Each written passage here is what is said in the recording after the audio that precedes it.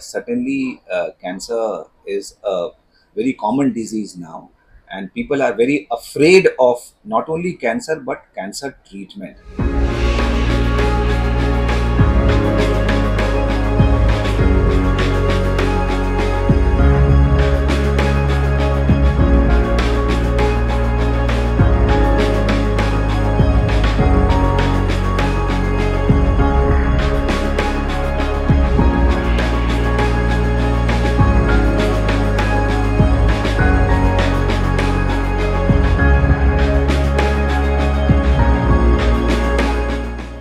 For last several decades, Tata Memorial Center has been working tirelessly in making our cancer treatment effective, less toxic, more acceptable, and most important thing is that it has to be based on the scientific evidence.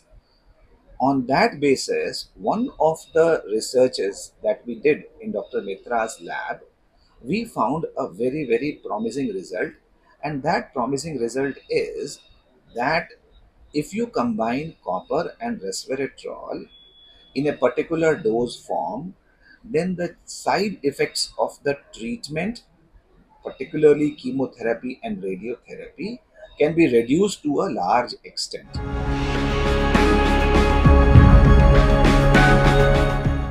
First of all, don't fear cancer. It is the ignorance that is more lethal than the cancer. Many people ignore the signs and symptoms that present in the late stages, which are beyond the realm of cure.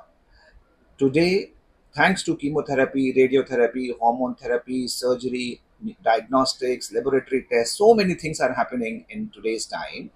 Because of that, in stage one, the cure rate is more than 90%. For stage 2, stage 3, it is more than 60 70%. Our aim should be early detection and reasonable uh, evidence should be generated for whatever treatment we are giving. So, that is for cancer treatment. So, do not believe that there is any other alternative treatment than chemotherapy, radiotherapy, surgery, which I have told you.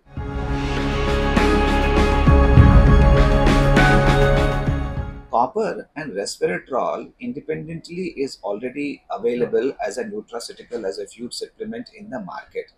Now, with this press release, I'm sure multiple companies will produce these tablets and they will make it available in the market.